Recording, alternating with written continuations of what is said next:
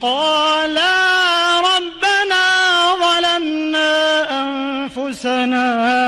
ربنا ظلمنا أنفسنا وإن لم تغفر لنا وترحمنا لنكونن من الخاسرين